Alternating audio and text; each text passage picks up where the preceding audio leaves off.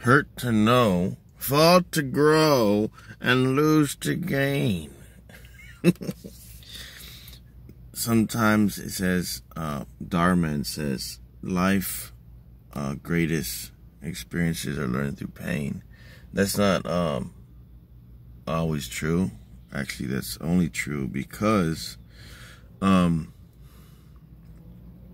it's not the greatest. It's just one of the stronger emotions we have that we give off during times of pain. We also give off strong emotions during times of happiness or other feelings.